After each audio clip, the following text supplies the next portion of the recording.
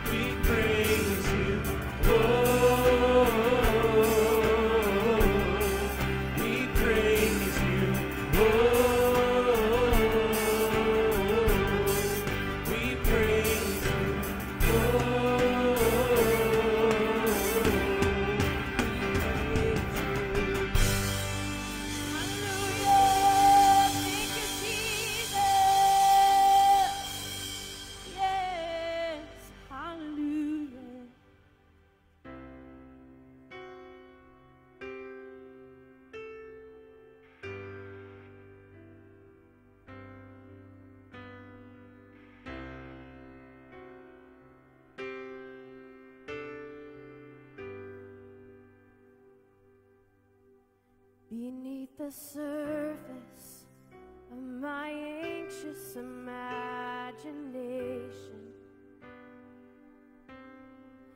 beckons a calmness that is found in you alone. It washes over.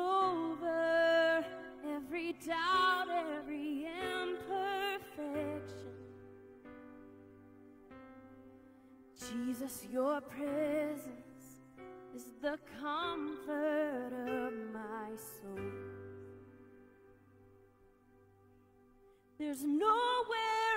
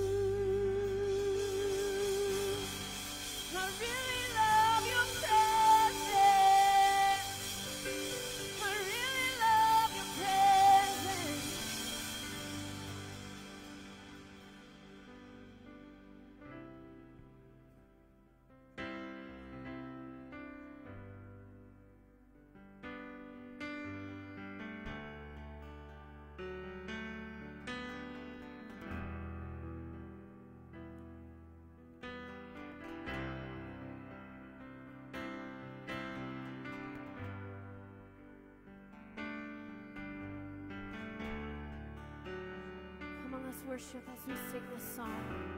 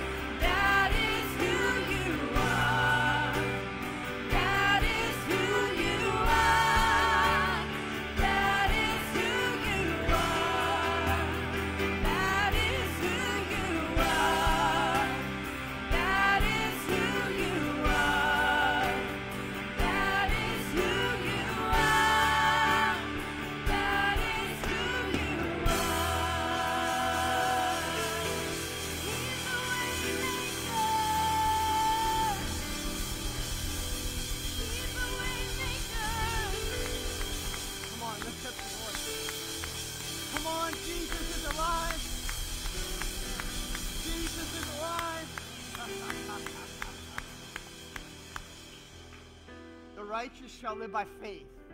It's a faith walk, isn't it? We, we don't see it. A lot of times we don't feel it. The righteous shall live by faith.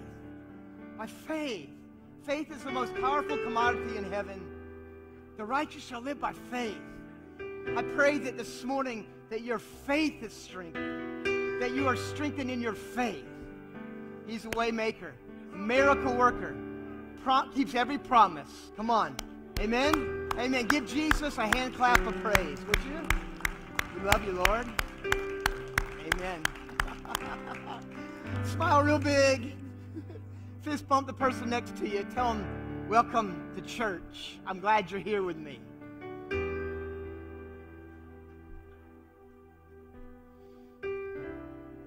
Good morning. So good to see you. Welcome. well, you survived the blizzard of 2022. You made it. Come on, you made it. you didn't, you didn't, you made it. Right on. So glad you're here. Hey, welcome. If you're watching at home, uh, either on our YouTube channel, maybe uh, Facebook Live, hey, welcome to our worship service on the, this Sunday morning. We're so glad you're here. My name's Tim. I'm the pastor. I haven't met you yet, and, and we're glad you're here. And our hope this morning was that when you came, that you felt loved and welcome. And even though, even those watching online, we want you to feel loved and welcome. As a matter of fact, uh, why don't we, on the count of three, I don't know if they could hear us, Dana, if we could pump up a mic or whatever. On the count of three, could you just give a big shout out, a hand clap to those who are watching online? Would you? One, two, three, here we go. Yeah. Glad that you're here, so welcome. Hey, we're going to invite you to grab a connection card. It looks just like this. Now, if you're at home, uh, know that you can go to our church app or a website and, and fill out a connection card. Here's the purpose of it we want to connect with you, and we think uh, whatever you're going through is important enough for us to pray about. So we want to be praying with you. So take a moment, grab the pen, uh, the seat back in front of you, put your name and check the box that says first time guest if you're a guest. Uh, second time, you can indicate that. Third time, there's a place for that. After three, we say regular tender. So we're glad that you're here. Take a few moments to fill that out. On the back of the card, there's a place for prayer request. Now, this is super important to us because we want to be praying with you. So if you're at home, the way you'll let us know how to pray is you'll let us know how to pray. You can fill out a connection card uh, on our app or website. We want to be praying with you. We meet throughout the week several times, and we're going to be lifting you up. You have a promise that if you'll write it down, we'll be praying with you.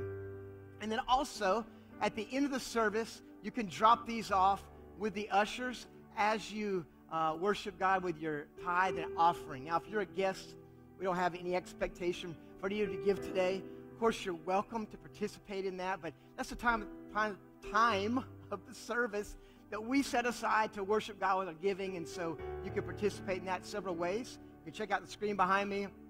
At home, you'll see that as well.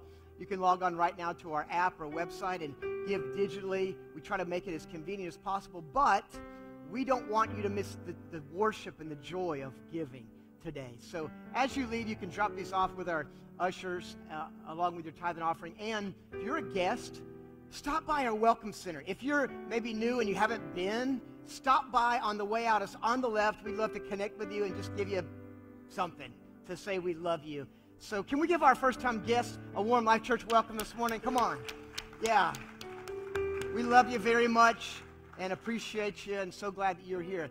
I want to point out one thing on the connection card that I want everyone to look at with me. So grab it real quick. I just want to point something out to you. On the back of the card, you'll see the category that says, My next step today is. If Everyone got that? Take a look at it real quick you'll see four boxes. The fourth box is sign me up. I want to volunteer for Spring Spruce Up Day on uh, April the 9th. On Saturday, that's actually a Saturday, uh, April the 9th. From 8 to 12, we'll meet here and just have a church Spring Spruce Up Day. So if you're an outside person, I'm with you, man. I, I, I mean, we're together. we got stuff. We got mulch and pine straw and all kinds of things we can do outside.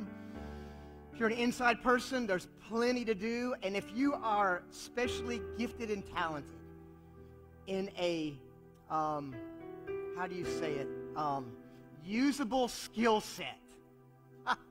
now, management, administration, and Boston people around is not considered a usable skill set in this case. but maybe you're a carpenter, maybe you're good at woodwork, or maybe you're mason, masonry work, and maybe you're electrical or uh, plumber or sheetrock uh, guy or girl painter or whatever. If you'll let us know, we'll, you know, try to utilize your skill as best we can. Or maybe you're kind of like me, maybe a jack of all trades, a master of none. But I can, I can help, right? So just check the box, put your name down so we'll know it's you, and we want to kind of, uh, lunch will be provided that day. Lunch is provided that day, so you don't want to miss. I'm going to ask Pastor Kevin if he'll come join me on the platform right now. He's got a special, just kind of a celebration about what God's been doing in our kids' ministry over the last few years concerning missions. Give Pastor Kevin Clark a warm welcome, would you? Come on, brother. Good to see you. Thank you, Pastor Tim. Good morning, everybody. In case you don't know, today's a special day, and it's not my birthday. And it's it's Sunday, of course, but today's National BGMC Day. And in case you don't know what that is, a lot of our people do, a lot of our even teenagers, because they grew up hearing this, Boys and Girls Missionary Challenge. And that's uh, something we are really big four around here with our kids, for everyone. But we teach our kids on this not just today, but throughout the year. This is a big deal. In fact, everything they give on Sundays, uh, we use those buddy barrels. Some of you have seen those, those yellow barrels. They've been going on for years, and our, our kids love them. But everything they give on Sunday goes towards BGMC. In fact, it's an easier way for them to grab hold. Yeah, we want them, them to become givers, and we want them to do it because they love the Lord and do it out of faith and obedience as we ask God and we remember that He's faithful this year. We are called to join with Him to be faithful, right? But um, everything they do goes towards our goal. In case you don't know, we've done pretty good the last four years. In 2018, uh, gave a total of $400, all good things. Uh, 2019, $1,107.65. We count every penny. Uh, in 2020, $2,017.71. And last year, $2,741.50. So we're very proud of our kids. They're not here, but let's give them a hand clap. In case you don't know, this something that's said in BGMC. For every dollar that's given, they figure this out. I guess it could change from year to year somewhat. They've equ- equated that to being one life saved. Think about that. BGMC covers a lot of things. It used to be just uh, material like curriculum, but now it's just about any need uh, the missionaries need, and it goes just about anywhere we go throughout the Assemblies of God. You hear Convoy of Hope, and they're in the Ukraine. They're all over. Uh, yes, BGMC is going to be right there with them. And so, what you do when you give to BGMC is you join in with the mission. But here's the deal with our kids we want them to latch on, yes, being givers and latch on not in the fundraising just attitude, but because we want them to learn to have compassion and, and do something now. So we pray for the missionaries, right? We do what we can do locally, and we, we do by giving. And we can't send our kids right now to Africa, but they can go in another way. So our goal every year is to up that game. So today, uh, we're celebrating upstairs with a little party because they've done a great job and they're very excited. And so we're going to have some pizza, some cupcakes, and I'm going to get pied in the face. Somehow that happened, yeah. And we're going to honor them every time. We're going to do something fun, right? And uh, so next year, if they get 3,000, if they hit that, I'll eat a goldfish. Yeah, they got to hit, got to got to got to get the 3,000. They get 4,000, I'll color my hair. 5,000, I'll go bald. Yeah, you're going to have to earn that joker. Because I'm going to tell you, that's probably worse than the goldfish for me. I ain't going to lie. I little baby goldfish. I'm not never done it before. I'll eat it and throw up. That's just how it's going to go that day. But we'll do it for Jesus. I'm going to throw it for Jesus that day. There we go. So here's here's why we're down here. Okay. Uh, we love it up there with the kids. Love you guys. You don't see me a lot, but I want you to join in if you would. Right in your seat, you see a box. Uh, if if you unfold it, it becomes a box anyway. And we're telling our kids that we're down here talking to you, telling them we got to get y'all lined up in obedience like them. I'm just saying, you know, y'all got to line up with them. Uh, but we would like for you to consider your change. See, it's not the amount, really, even though we want to keep on moving positively, right? Because really, is it really that? I mean, a widow's mite is how much? And for kids, a widow's mite can easily be a few pennies a Sunday, right? And it's about obedience, about passion, about doing something. And yes, prayer may be the only thing sometimes, but a lot of us in America can do more. So if it's that change that you agree to give that's in the bottom of your washer, dryer, the change at the bottom of your purse, the change we find on the ground, whatever. Make a deal, if you would, of, of filling this, this box up for us, if you would. Bring it next Sunday. We'll have a place you can give it. And then we'll celebrate with the kids. And again, we'll talk about the amount, but that you joined in with us and you're going to be part of that even though you're not in service with us, okay? So if you would think about ways you can give, we're not trying to, you know, you're giving lots of places. Our church does a great job at giving. We know that. But here's another way visually, too, that you can join in with the kids. And it is a big deal because we want you thinking with us and united with us in faith that we're doing something together. And we all unify here at the church doing different things, but it's all for the kingdom. Amen?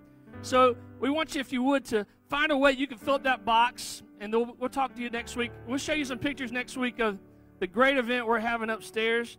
And uh, we know you're praying for our kids. And we're going to go back and tell them the good news that you're joining with us. And we're going to do this next week together. We'll collect your change and we'll celebrate it up there for you, okay? Thanks. Thank you, Pastor Kevin. Would you give our kids pastor a hand? Thanks, buddy. Love you, man. Thank you so much. David Green's mother would crochet little doilies in her chair and sell them for a dollar. She would do that over and over again. She would take the dollar and give it to world missions. David watched his mother do that year after year after year.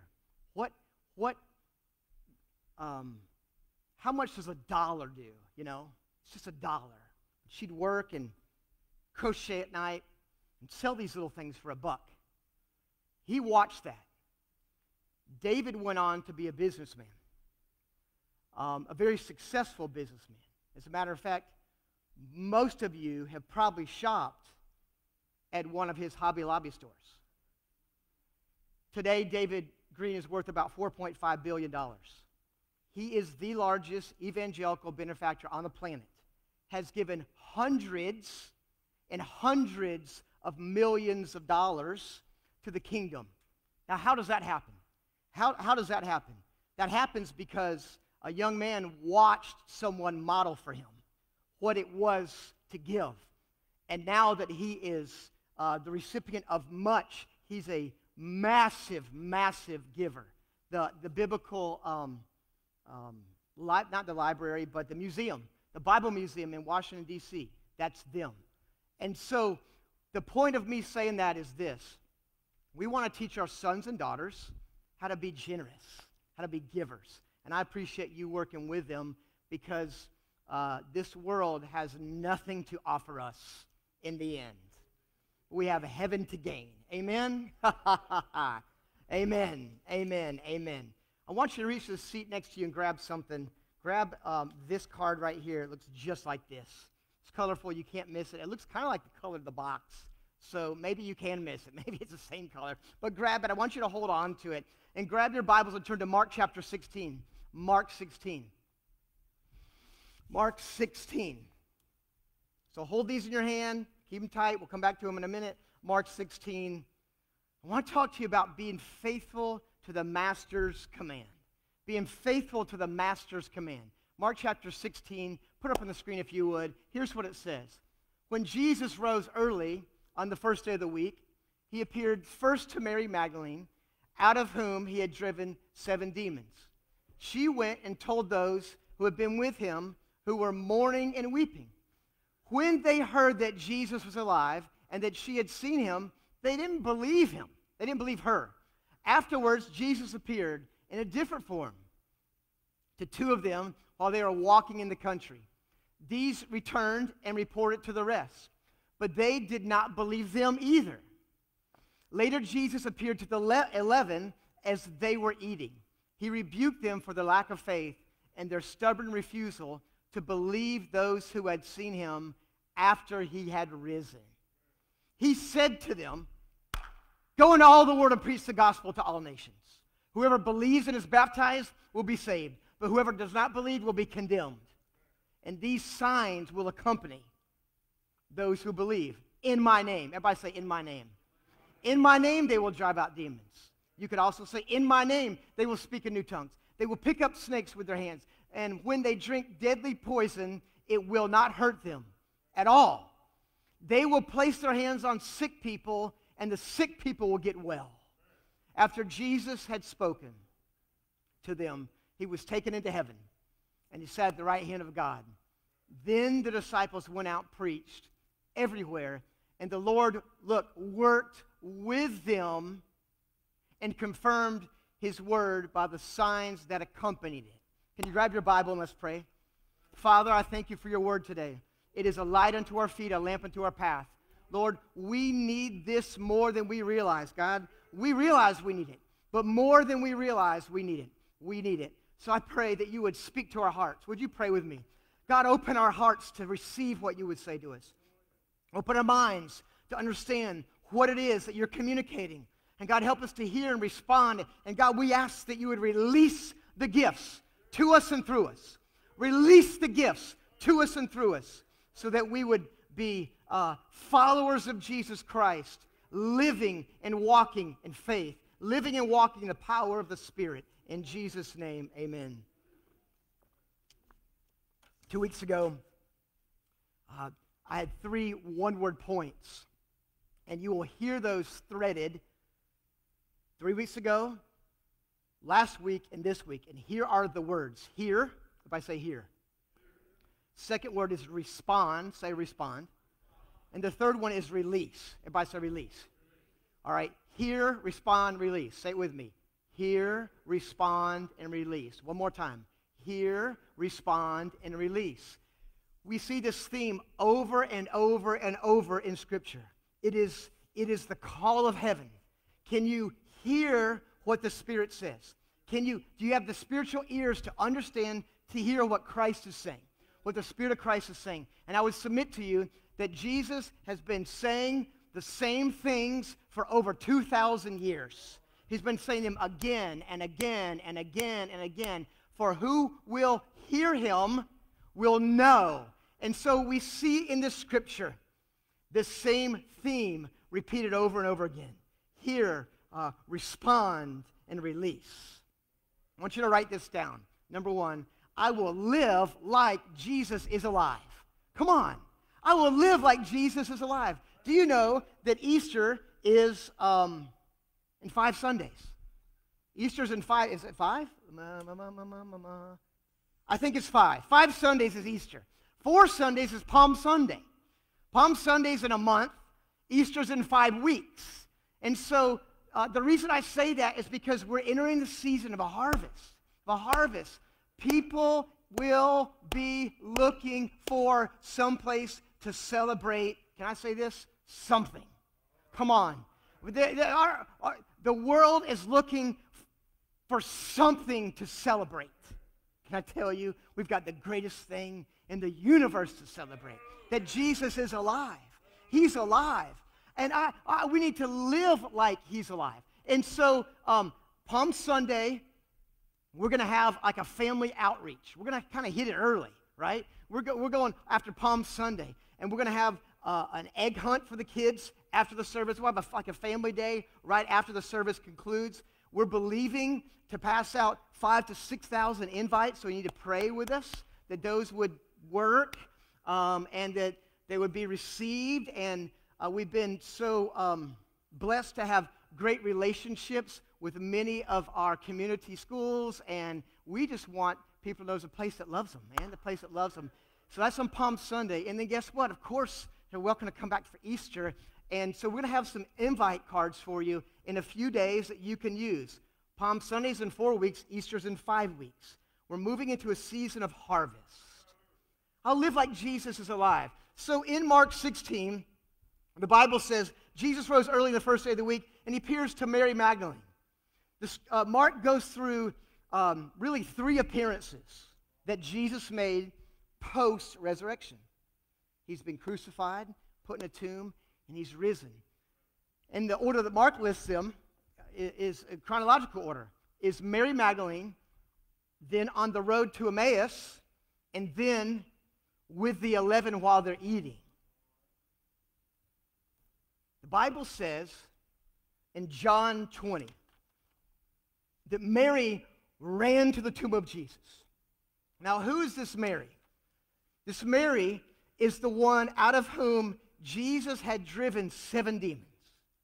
So I just want you to understand how, how uh, uh, bound up she was, how, how in bondage she was. I mean, she was physically and mentally, spiritually in all kinds of bondage. And the Bible specifically mentions her by name and designates that as her, the one that Jesus drew, drove out seven demons. Listen, when the master has done a miracle in your life, come on, you are forever connected to him. You are forever connected to him. So we have this Mary Magdalene. The Bible says she goes to the tomb and she's weeping over the tomb. She's in confusion, doesn't understand what's happening.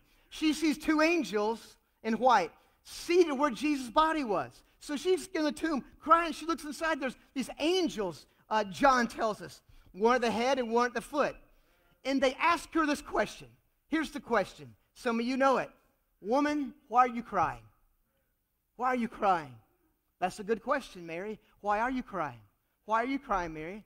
You're crying because you felt like Jesus has disappointed you. You're crying because you felt like Jesus maybe wasn't who he said he was. You're crying because your dreams and your aspirations, all you put, you're confused, you're depressed, you don't understand what's going on, and she's just a broken mess.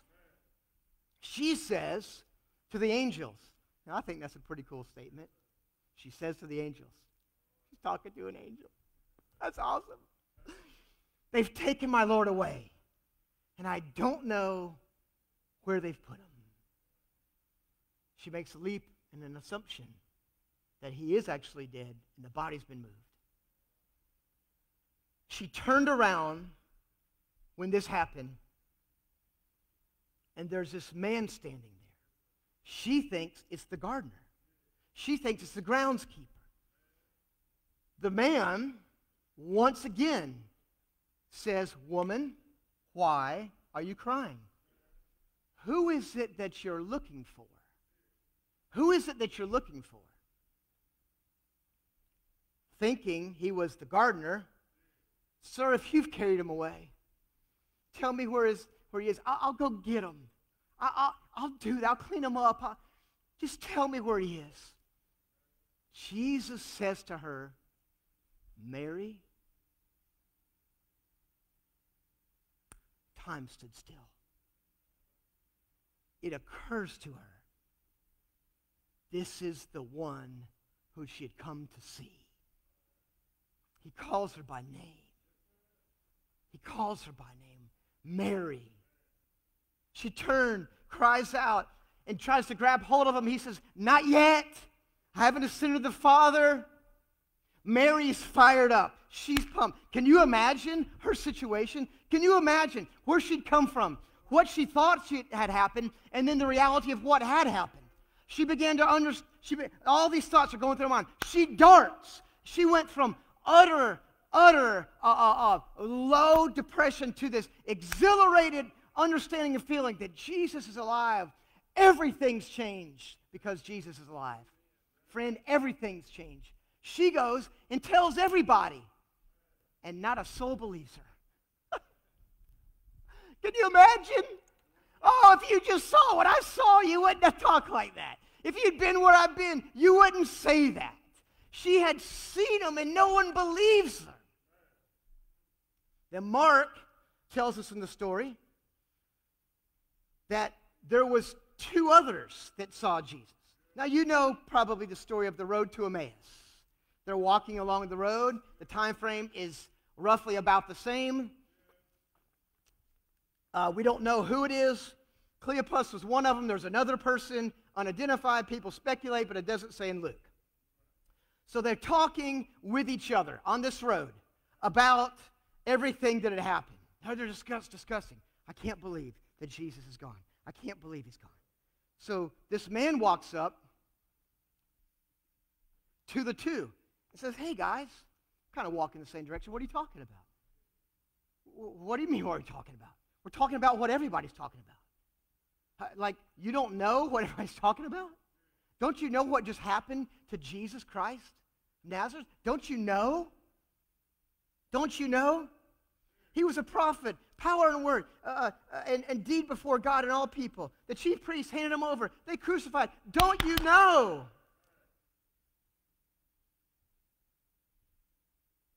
Then we went to the tomb. Some of our Mary went, and like he wasn't there. That's what we're talking about. Jesus responds, How foolish you are, and how slow to believe all the prophets have spoken. Did not the Messiah have to suffer all these things to enter his glory? And beginning with Moses and the prophets, Jesus basically explains all the Old Testament to them in a summary form as they're walking. So they, they're like ready to crash for the night. Jesus is, they said, no, no, no, stay with us, stay with us. He says, he sits at the table with them, he takes bread, and he breaks it. And the Bible says, and it began to give, it began to give it to them. Their eyes were open and they recognized that it was Jesus. Were not our hearts burning within us while he talked with us on the road and opened the scriptures to us? So Mark says, look, Mary's testimony. Then you had the testimony of, of the two, Cleopas and someone else. You didn't believe them. You didn't believe what they said. A couple things about unbelief. First of all, Jesus had told his followers what would happen. Now, this is important. He had already told them. He had already told them. As a matter of fact, you can look it up in, I think, all the Gospels. Well, yes, all the Gospels, at least Luke, Matthew, Mark. He had already told them. Uh, uh, um, he, he, he, says in, in Luke chapter 9, um, the Son of Man must suffer many things, be rejected by the elders and chief priests and scribes, and be killed on the third day and be raised from the dead. In Matthew chapter 17, as they were gathering in Galilee, he said to them, The Son of Man is about to be delivered into the hands of men. They will kill him, he will be raised on the third day. And the Bible says they were greatly distressed. That's interesting. Did they only hear half of what he said? He said, The Son of Man is about to be delivered into the hands of men. They will kill him. He will be raised on the third day. And they were greatly distressed. I don't understand what's so distressing about that. We read it now and we go, How is it distressing that he'll be raised up on the third day? Unbelief will cause you to hear only the things that you want to hear. And then Mark, uh, um, he began to teach them the Son of Man must suffer many things, be rejected by the elders, the chief priests, and scribes, and be killed, and after three days rise from the rise again. And he said this plainly. He's saying it and saying it and saying it. The first thing about unbelief is this Jesus had already told him it would happen. The second thing is he expected those who had heard it said to believe it and respond. Now, this is very significant to us in 2022. Jesus had said it. In addition to that, he had witnessed, he'd allow Mary and the two on the road to Emmaus to witness his resurrection or his resurrected body. He had said it, he had told it to them, he had said it plainly numerous times, he had appeared to them. Here's the takeaway Jesus expects for his followers to live like he's alive. He expects for his followers to live like he's alive. Jesus expects that. The expectation of Jesus is what must direct us. The testimony of Jesus is what we're told to live by. Our lives are shaped by the testimony of Christ. Here's a question Do you believe Jesus is alive? That's a very important question. And I'm not trying to be theoretical or funny. Do you believe that he's alive? Do you believe? He, he's not an anime character. He's not a cartoon character. It's not a sci-fi movie. Do you believe that Jesus Christ was crucified and was resurrected from the dead? Do you believe that? If we believe that, that Jesus is alive, it changes everything, doesn't it? It changes everything. We don't have to be like Mary. We don't have to be like the two on the road to Emmaus. We don't have to be downtrodden, downcast, and confused, and I don't know, I don't know, I don't know. Oh, what was it? We don't have to do that because that changes everything. Oh, listen, friend, I'm not planning going tomorrow, but in just in a little while, I'm cashing in and checking out. Come on. I'm cashing in and checking out. Uh, I, I, listen, I'm, I'm halfway there at least. Uh, in the words of the prophet Bon Jovi, halfway there living on a prayer. I mean, I'm there. Just joking. I'm 52. 104, I guess that's possible. Uh, maybe. Probably not, but maybe. Come on, in just a little while. Life is but a vapor. Life is but a vapor. Life is but a vapor. In just a little while. Some of you who are 17 never think you'll be 50. Oh, you deceiveth yourself. Romans 4:17 says for the kingdom of God it's not a matter of eating and drinking, but of righteousness, peace, and joy in the Holy Spirit. It's this living of righteousness, living righteous before God, and the peace of God. Friend, if there's any time we need peace, it's now. Any time we need peace, it's now. Probably next week, we'll give you an opportunity to participate in an effort that we will participate in to help the mass chaos in Europe. Can I encourage you that we have missionaries on the ground in Europe? Can I encourage you that we have churches that are alive and functioning? Can I encourage you that some of the arms that we support of the Assemblies of God are on the ground, working, helping, distributing hygiene, clean water, food, doing the best that they can. And we're working on a plan for us to partic- participate both in a hands on and a giving. A hands on and giving, and both will be giving in nature, but we'll let you know that. Here's the point we'll live like Jesus is alive. We'll live, we won't live like he's dead. We won't live with, without hope. Uh, live like Jesus is alive. Christ, God raised Jesus from the dead, and by the power of his Spirit, he was resurrected. So we pray this morning that our faith would be strengthened, that we'd live like Christ has been raised from the dead, transformed uh, us, and living by faith. We need the help of the Spirit to help us live like Jesus is alive. Changes everything. The second thing is this I will live like Jesus has authority in my life. Now, this one's going to um, be a little edgier. A little, a little edge. Is that okay? Can I just say what Jesus said? Can we just do that? Yeah. I will live like Jesus has authority. I, I will allow Christ to have authority in my life. Um, here's a word that's not a phrase that's not super popular anymore, but let me bring it back. Submission to authority. If Jesus, if Jesus is the one who has all authority, we talked about it last. All authority heaven, all authority. Friend, he has authority over Europe. He has authority in Ukraine, in Russia, and Moscow. He has authority. I'm telling you, the puny kingdoms of men pale. They shrink and wither away under the power of God. He has authority. He's not relinquished that authority. He's in charge. Christ has been given all authority. And if Jesus has all authority, it would behoove me and you to allow him to recognize him as the authority in my life. Now, this, this changes everything. Well, there's two things that change everything, right? Jesus is alive. What will we do with that? Will we allow him to have authority? Mark 16, 14, back to the story, says this. Later, Jesus appeared to the eleven as they were eating. All right, so Mary Magdalene, right?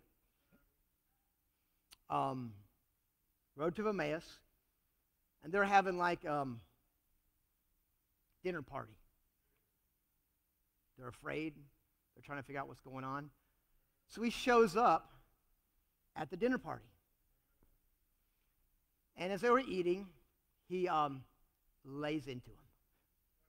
He lays into him. That, uh, that word rebuked is, is, is really a colorful word. If you have, um, might be ESV, I know King James says upbraided. You know what that is? You ever been upbraided? you ever been set straight? You're, been upbraided. He rebukes them. He- now, here's what he didn't do. Now, now, boys, quiet down. Jesus is trying to talk. You in the back, shh, shh, shh. Just, if you'll give me just a moment, please. I, I, there's a few things from my heart I like to share because I'm Jesus and I need to share. No, no, no, no, no. He rebuked him. How dare you? I told you this would happen. I told you this would happen. He rebuked them for their lack of faith and their stubborn refusal to believe those who had seen. And I even appeared to Mary. I appeared to her, call her by name. I appeared to those guys on the road to Emmaus. You knew it, they told you, and you still didn't believe them. I told you I would rise again. I appeared to them, and they gave testimony. Now that's three testimonies, mine and theirs, and you still didn't believe. Now, why is he being so hard on them? Why is Jesus? I mean, let's let's. Their earth was shat- their world was shattered. They, they, they, they were confused. They, they, they, they didn't understand. They were fearful. They, they, they thought the world was coming. Well, at least the world as they perceived it was coming to an end. And, and Jesus, instead of coming in and says, now, now, now, come on, he rebukes them. He lays into them. What are they rebuked for? Their lack of faith. Now, this is really important. They are not rebuked for their lack of talent. Hallelujah to Jesus. they were not rebuked for their inability to be a good talker. they are not rebuked. Listen, they are not rebuked right here for breaking one of the visible, you know, earthly commandments. They are rebuked for their lack of faith. Why is Jesus laying into them so hard about this? Because faith is the commodity of heaven. We get saved because of our faith and what Jesus has done. We follow Christ because of our faith. We obey the commands of Christ because of our faith. Faith is a commodity of heaven. As a matter of fact, the biggest thing that Jesus was concerned about right then was their faith. Faith is the building block for which everything in the kingdom is built. Faith is the precursor to all that happens in the kingdom of God. Hebrews 11 6 says this Without faith, finish it with me, it is impossible to please God because anyone who comes to him must believe that he exists and that he rewards those who earnestly seek him. Without faith, it's impossible. Without faith, it's impossible. He rebukes them because the thing that they lacked was the thing that was necessary for them to live with him forever. And if they didn't have that, nothing else would suffice. The Spirit of Christ is working on your faith. You believe that? Do you, do you sense it this morning? The Spirit of Christ is working on your faith. He's working on your faith right now. Right now, He's working on your faith. The Spirit of Christ is working on your faith. He's right now, right now, He's working on your faith. In the season that you're in, He's working on your faith. In your physical condition, He's working on your faith. In, in, in, in whatever joy or crisis, He's working on your faith. Because faith is the only thing that makes us acceptable to the Master. It's the only thing that makes us acceptable to him. As a matter of fact, fact, without faith, it is impossible to please God. Because anyone who comes to him must believe.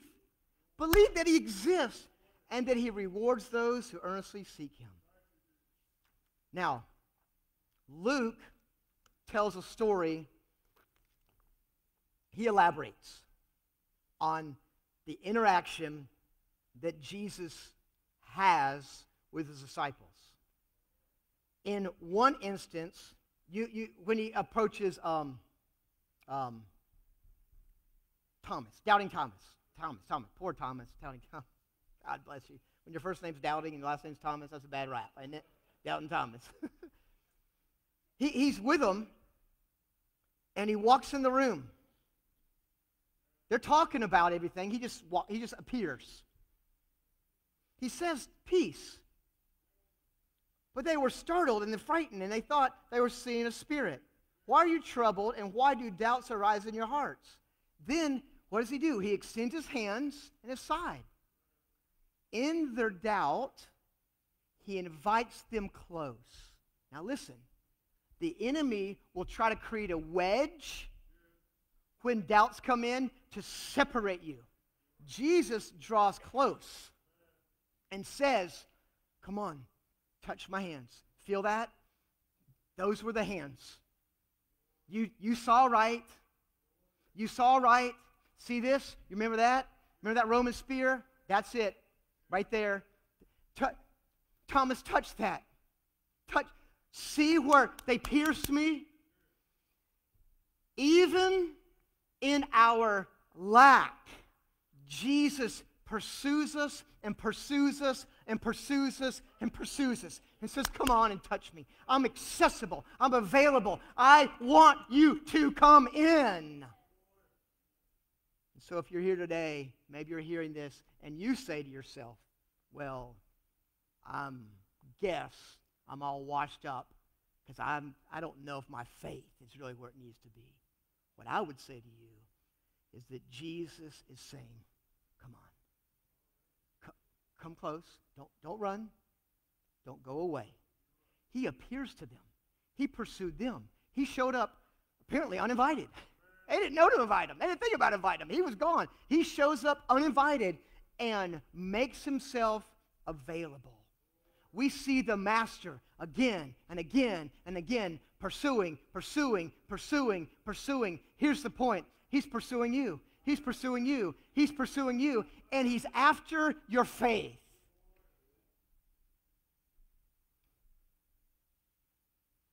You will receive correction from someone who you perceive has authority in your life. All right? If someone tries to correct you, and you're like, who are you? Someone tries to give you a tip or a pointer. Being nice about it now, right? Some free advice. You, you say, Who are you? There's times where I'll say, um, if I want to interject something, I'll ask permission. Are, are, you, um, are you game for some free, unsolicited advice? You'll receive correction, you'll receive it right? From someone that you perceive has authority in your life. You ever played a sport? Coach? Perceived authority. I perceive you have authority in my life. Therefore, when I am upbraided for my lack of effort or whatever, I receive that because I know you have my intentions, good intentions, right? A coach, um, a loving parent, a loving parent will, will correct, will, will, will um, correct. Because, and, and it will be received only if the relationship feels that there's authority there. If they don't, then it's not going to work. Or a friend. You ever had a trusted friend who brought some correction, maybe? You perceived they had authority, or a mentor. Here's the point if you don't let someone in your life and give them any authority, they can say anything they want but it won't be received. What we have to do is come to Jesus and say, Jesus, you're the master. You have all authority. Now it becomes about my submission to that authority. He already has authority. One day, those who don't submit to that, the Bible says, will eventually bow a knee in confession and realization, a cognitive understanding. I missed the mark. Jesus is Lord. But right now, it's by faith. The Spirit is after your faith. He wants to strengthen your faith. That's why worship is important. That's why gathering is important. That's why, listen, that's why giving is important. Where your treasure is, your heart will be also. Uh, that's why praying is important. That's why serving is important. I will live like Jesus has authority in my life. Jesus is the head of all things. Christ, the risen one, has all authority. The Father, the Bible is clear, has given Christ complete authority. Everything is under his feet. Everything and everyone are subject to the authority of Jesus. So I've been praying for a couple weeks for the Lord to strengthen our faith, to, to grasp that reality that He is Lord of the universe. He's Lord of the world, and He is head of the church. So strengthen us. We pray, that's what we need. I'll live like Jesus is alive. I'll live like Jesus has authority in my life. And the third thing I want you to write down is this I will represent Jesus with confidence. With confidence. With confidence. Go back to Mark 16. Let's read it again, or at least verse um, 15. So he rebukes them. Now, this is, this is significant. He rebukes them, and right away, what does he do? He gives them the most outlandish mission that anyone could ever receive. He gives them a task of monumental proportion. He gives them a vision of the world and a future and a life's calling. He rebukes them for the lack of faith. And now he says, Now, straighten up. I got something to tell you. Go. He doesn't skip a beat. He says, Go. Go into all the world and preach the gospel to all creation. Go and do that. I don't come just to condemn you, I come to strengthen your faith. Now repent of your lack of faith because you're going to need to go. And, by the way, whoever believes what you say will go to heaven. Whoever does not believe what you say will burn in hell for eternity. And these signs will accompany those who believe. They will drive out demons. You, you guys are going to see it. You'll see it. We are, you are, you're going to do it. They'll speak in new tongues. They'll pick up snakes with their hands. They'll drink deadly poison. It won't hurt them at all. They'll place their hands on sick people, and they'll get well. Let me just unpack that for a minute, just to bring some clarity. There will be times in gospel ministry where you will encounter deadly things that will not harm you. This is not a license to go find a bunch of poisonous snakes and yank them by the tail and start kissing on them. That is not at all not at all what Jesus meant. Now, some of you have friends that think that's what you do. I'm just telling you right now, because they think you're going over. They, they think. That is not at all. That is a, complete misrepresentation of that scripture. That is not at all what it means. But there will be times uh um, that this will happen. There'll be, there'll be dangerous things. There'll be things that should have hurt you or should have killed you that won't. You, you'll encounter dark spiritual forces, and you'll be strengthened to overcome them. I will confirm what you say is from heaven with miracles and signs and wonders. Wherever the gospel is preached, there will be a trail of the supernatural left behind. Wherever the gospel message is preached, behind it is this trail of life changing conversion, uh, miracles, signs and wonders, unexplainable things.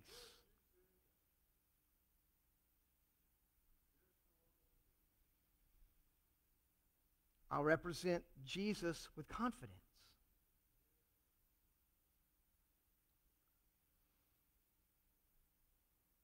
Whoever believes and is baptized will be saved. There, there's a beautiful heaven to gain. You'll be saved. Saved from what? Saved from yourself, saved from punishment, saved from hell, saved, saved from everything that would hurt you. You'll be saved. Heaven to gain. Heaven's a real place. It's okay to talk about heaven. We should talk about heaven more often. Heaven's a real place uh, that, that the, the, the, the, the building blocks of heaven are, are considered precious material on this earth and they're in excess. Uh, um, there- it's, it's beyond even, you can see the biblical writers struggling to describe what they see. They're, they're, they're constrained with, with, with, with, words that, that seem so little in compared to what they see. It's a wonderful place. It's for eternity. It's a real place. When a believer dies, they inherit eternal life. Whoever believes what you say to them, he says, and is baptized, obedience always follows repentance. Always follows repentance.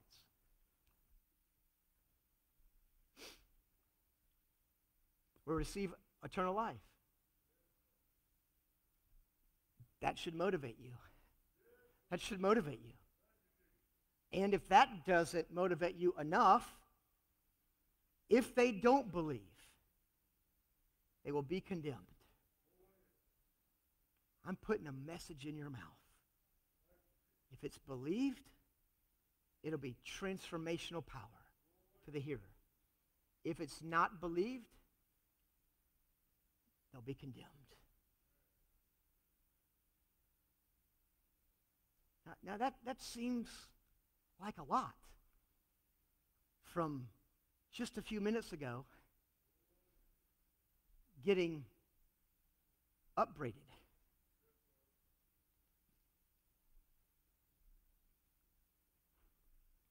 I, I, know I keep using these sideline illustrations, but can't, can't you see this coach grabbing a player by the face mask? I told you, when that guy breaks out, block him out. Push him to the sideline. Push him to the top of the stadium. He gets by you one more time, you're the bench. Do you understand me? Push him to the top of that stadium. Now go out there and win this game. So it's this upbraiding and this right away, it's this world changing mission. Go and preach the gospel to all creation. Who am I supposed to? Everybody. What about them? Yep. What about the yep? If they believe, they go to heaven. If they don't, they go to hell. Here's a question. Jesus said this Follow me, and I'll make you fishers of men. Here's a question to ask ourselves If we aren't fishing, are we really following? If we're called, if I'm called to be a fisher of men, and Jesus said, if, I fo- if you follow me, come on, Tim, follow me. Do you hear him saying that to you? Come on, follow me. I'll make you fishers of men. Oh, that was just for the guys in the boat. No, it wasn't. No, it wasn't. It's for everyone who followed. I'll make you fishers of men. So here's a question If I'm not fishing, am I truly following? I think that's a serious question. I want you to grab your cards real quick. Jesus said, Let me encourage your faith. When you do this, you're going to drive out some demons. It's going to happen. Um, you're going to you're going to speak in new tongues. Y'all are going to get baptized in the Holy Spirit. Things are going to happen. Um, you're going to face incredible, deadly things. Not going to harm you. You'll encounter sick people who need, the doctors can do nothing else. And you will show up, and in my name you'll lay hands on them, and they will recover as a testimony to my resurrection power. Here, here's the missions. Here, here, here, here's what Life Church is about. Here's what Life Church does. Life Church is a sending group of Christ followers, number one. We're a sending group. We give so that others can go. You heard Pastor Kevin, what he said, right? We're a sending group. We're a sending group of Christ followers. So we send people out. When you give to missions, you're, you're sending, and we hear reports, right? Reports from those missionaries. Reports from those missionaries. We're a sending group. We send people. We can't go everywhere. Not, not at the same time, not in this room. But we send people who are. The second thing is Life Church is a loving and welcoming group of Christ followers. So we create this Christ filled atmosphere so that others can look, look, connect, join, be part of. So we're charged with sending. Do you believe that? I believe that. We're, we're charged with creating and welcoming environments so that others can connect. Others can connect. And the third thing, Life Church is a gathering and inviting group of Christ followers. We connect to the community so that others can hear and believe. Hear and believe. Hear and believe.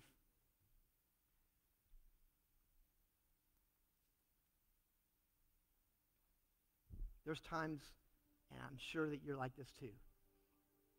You come to moments like this, and you go, God, just, oh, you got to help me. You got, what, what if Jesus walked in the room? Can you picture him talking to us? Repent of your lack of faith. Now go. Go.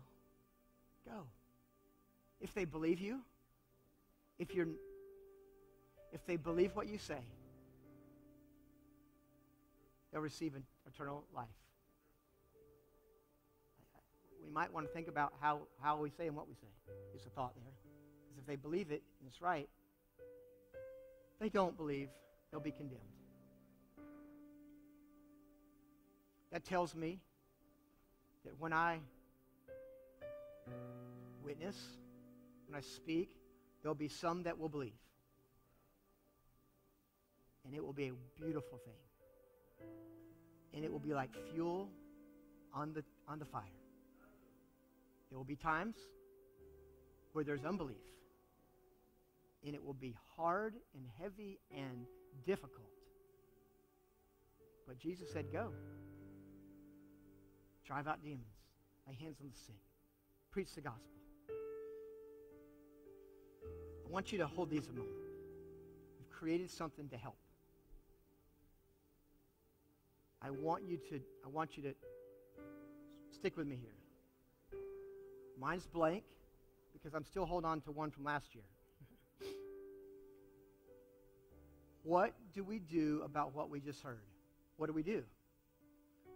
You're here because you want to be here. You want to be here. We're we're worshiping Christ together. How do we fulfill what Jesus says? Let me give you some thoughts. We know people within driving distance of this church who are not in church. If you don't know people who are in driving distance of this church, who don't have a church, what I hear from this is I need to get to know somebody. The longer I do this, the more insulated or isolated I can become unless I intentionally, especially the last 26 months or whatever it's been, where it was like, stay away, stay away, stay away. And like, you know, especially that. What I'm asking you to do is, is to ask the Lord for five names. Now, I got a card in my office, and some of it has like a full name, and some of it has the guy at so and so, right? The, uh, um, the lady or the couple so and so. And I didn't know, and I'm, I'm Lord, they're on the radar. I, I'm going to be praying for them. So here's what I want you to do I want you to put five names. It could be someone in your household. Across the street, a coworker. And I want you to hear Jesus burden for them asking you to pray. And I want you just to pray for them. I, and I want you to pray for them all year. All year. All year. All year. So you're praying. You're praying. You're praying. You're praying. Then I want you to consider this. Look for opportunity to serve them with an unexpected kind gesture. Random act of kindness. Something meaningful. Something, anything. Something kind. To serve them. To, it's, it's a way of washing Jesus' feet. Serving them. If you got, give a cup of cold water, you've done it unto me. It's just serving. You're serving. And ask. What are you asking? Well, what I hope is that as we mature in our faith and we grow, we, we know how to share our story. But what I'm asking you for here is just ask them to join you at one of our services. And I think Palm Sunday and Easter are the perfect time? What do you? What do you think? I think so. I'll live like Jesus is alive. Come on, he's alive. I will um, live like he has authority in my life. And, and I'll represent him with, with confidence. Confidence. Remember what the, the, the disciples were rebuked for. Not because they didn't hadn't memorized enough of the Torah. They were rebuked for their lack of faith.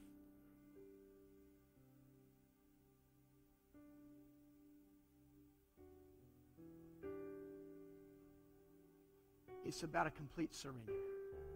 Are, we, are, are you with me? Would you stand up on your feet? It's about a complete surrender. Stand up on your feet, Oliver. It's about a complete surrender. It's about a surrendering, look, listen, of what I want. It's about a surrendering of my will. It's about a surrendering of my comfort level. It's about a surrendering of my desire. We're a sending group. We're a welcoming group and, and, and, a gathering group. We've got to do all. We've got to do all of it. We send, right? Where others go that we can't. We, we create atmosphere, love, and where people are welcome, right? To come in with, with their flaws, and you can say, I got some flaws too, man, you know, and so we're kind of kind of in that one together, kind of flawed together. But there's one that we're chasing and pursuing who loves us more than you can imagine, and he's flawless. And if we'll just kind of stick close to him, what's going to happen is he's going to knock some of those rough edges off of us together. And, and maybe I would be transparent enough to share some of those flaws with you. And you could maybe, if you would trust me occasionally, if you ever got the guts to share a flaw or two, and then together we could just give those to Jesus. That's called making disciples. It's called making disciples. And we're an inviting group.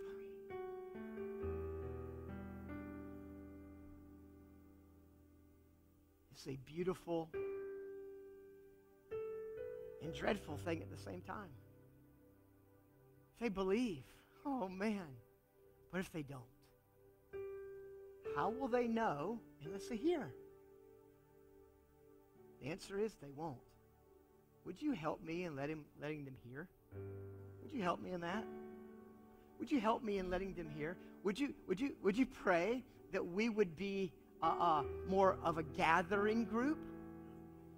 Are, you, are we together? Are we, I'm not setting you up for some, you know, big, like, this is what it is. Would you, would, would, would you, would you, could we work together to be a gathering group? That we would, can I tell you that when you begin to pray for someone, things happen things happen and the spirit will speak to you and god will do things behind the scenes because he's, he's the one who's pursuing. He's the one pursuing. He's the one who, who he's the one who died and rose from the dead. And that same power is alive in us. So the response today is this. God i surrender completely to you. Is that where you're at? Will you go there with me? God i surrender completely to you would you close your eyes right now and just begin? God, we, we surrender to you. God, we, we surrender to you. We surrender to you, Jesus. We surrender to you. Lord, we, we thank you. We praise you. You're the one that's in, in authority. That you created. Come on, would you worship him? We praise you that you're the one that created. You're, you're, you're, the, you're the one that has all authority on the earth in the universe and in the church. This is your church, Jesus. God, I pray that you'd strengthen our faith. Strengthen our faith. Strengthen our faith. Strengthen our faith. Strengthen our faith. To believe that you are who you said you are. Would you pray right now? Would you ask God to show you who the people that He would have you work with Him on this year. Would, would you pray? Can you, will you do that with me? Will you do that? Can we pray right now together?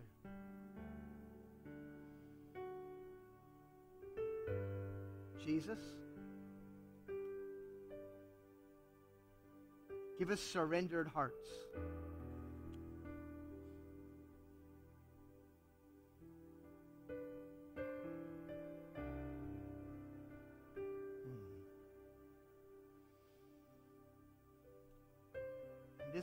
Atmosphere, I want, I want to back up a couple steps here.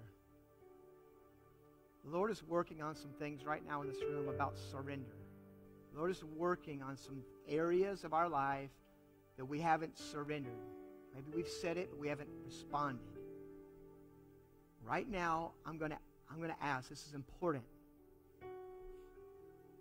that we would respond to the call of God for surrender. That we'd respond to the call of God for surrender. If that's you, right there in your seat, would you just throw your hands up? Say, God, I surrender. I surrender to you. I surrender to you. I surrender to you. I surrender to you. We're going to sing an old song. I surrender all. We're going to sing that. And as we do, I just want you to lay your life before the Master and ask and ask that, that he would that he would help you surrender every part. Come on, maybe you're here today and you've been giving some, but you've been holding back. These altars are open. You can respond by coming forward. You can respond by kneeling in your seat. You can respond by standing in your chair. Just respond in some way. Respond in some way. God, we surrender. We surrender. Can we let that prayer wash over us as we sing this song together? Come on, sing it with us as we sing. I surrender all. Sing to the Master. Sing it to him.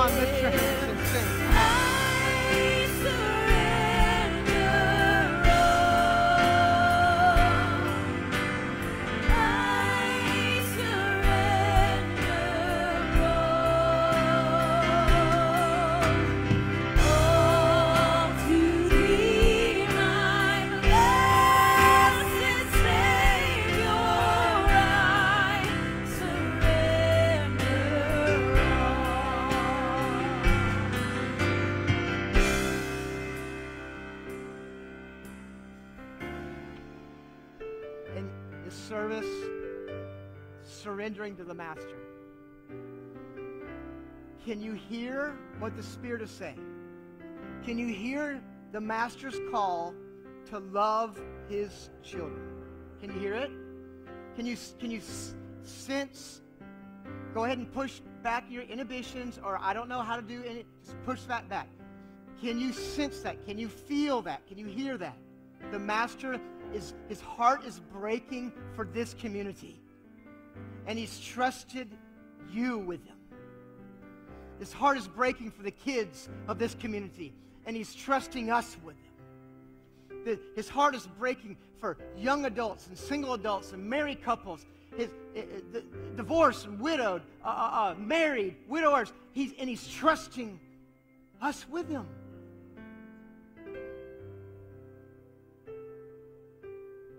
We approach Him with surrender.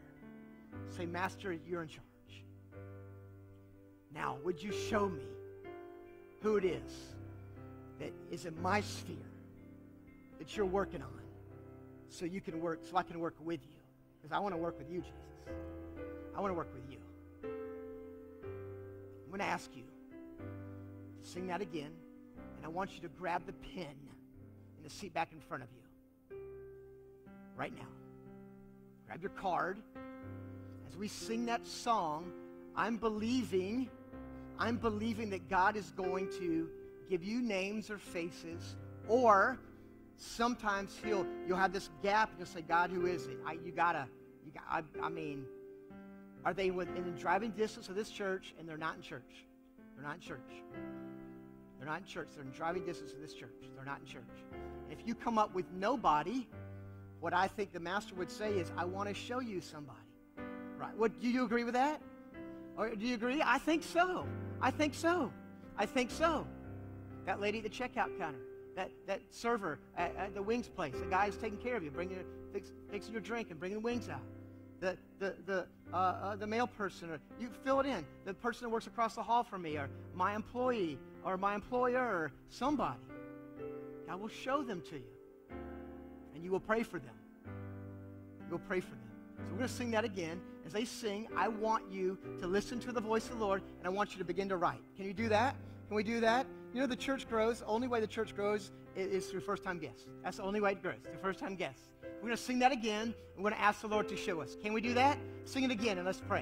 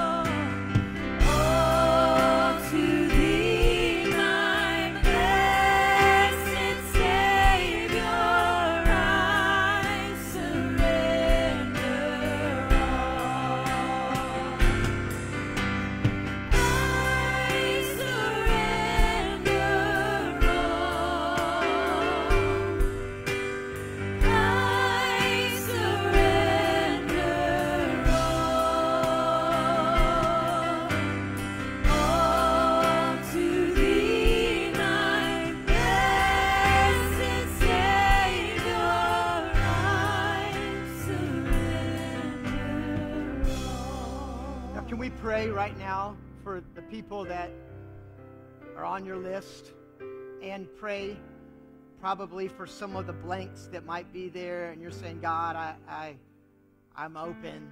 Can we, can we pray right now?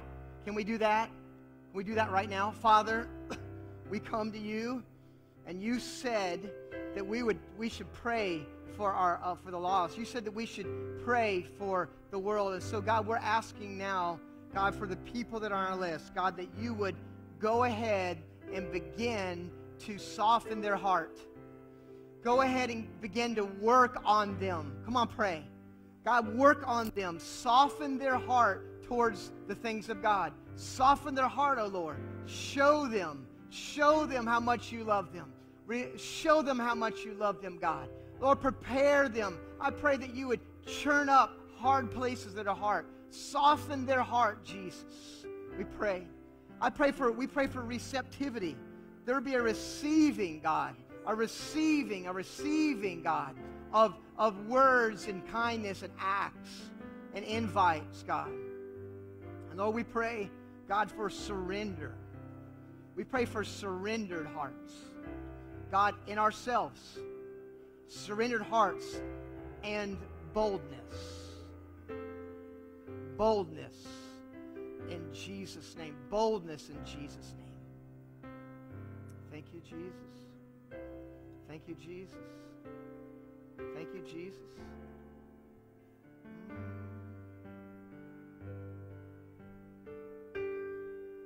I feel like I'm going to pray for the sick here and um, kind of sensing the Spirit moving and directing some specific things.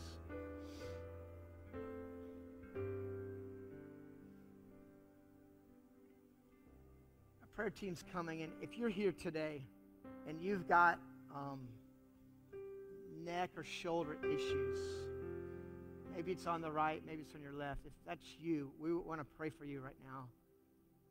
And, and so we're going to lift you up. So if you're here today and you're sick in body, and, and maybe there's pinched nerve or a messed up, I don't know, uh, bulging disc, I'm not sure, but I sense that we want to pray for you and believe God for a supernatural touch in your body.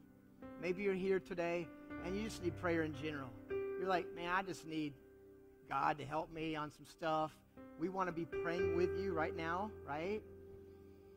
Or maybe you say, you know what? What I need to do is I need to move my heart closer to the Lord and, and really get in line with, with what He's saying uh, to me about this fishing expedition that He has us on. that we would have surrendered hearts and boldness and confidence that you have for us. So if you'll draw close to Him, look, everything that you need is in His presence. Everything that you need is His presence. So we're going to open up this time prayer. I'm going to pray over you. And if you need to go, you'll be dismissed. Our ushers will be at the door to receive um, tithe and offering, your connection cards. These are for you to keep. These are not to turn in. These are for you to keep. I want you to keep them. And listen, listen I want you to struggle with this a bit. The, a little struggle, right? The little struggle. I want you to struggle with it. Jesus has no problem with us struggling a little bit on some stuff. He wants us to. He wants to bring us to a place so that we become uh, releasing agents, right? That's what he wants, right? And so it's okay to struggle with that and bring it to prayer. Would you commit to me to, to praying about this this week? Would you commit? I'm asking you to. I'm, I'm begging you to. I'm begging you to. I'm begging you to. Come on, we're doing it together. We're doing it together. We're going to do it together. Come on, we're going to do it together. Come on, we're going to do it together. So if you need prayer about that or anything else, um, we want to uh, we want to pray with you. It's on. I think it's on this side of your body. Maybe it's even an ear issue. I don't know, but I'm just sensing that that God wants to touch your body physically. I'm gonna pray prayer over you. You'll be dismissed if you want to come and receive prayer or just worship. You're welcome to do that. God bless you. Amen. Amen. So Father, thank you for the word. Thank you that who the Son sets free is free indeed. I thank you, Jesus, you have, you have a plan and a purpose for each of us. And I'm asking in the name of Jesus that you would supply everything that we need. I pray blessings over your people. I pray encouragement over your people. I pray boldness, God, boldness and confidence in their faith. Boldness and confidence in their faith, Jesus, that you are who you said you are. God, that you'll do what you said you would do. And God, we can do what you've commanded us to do, God.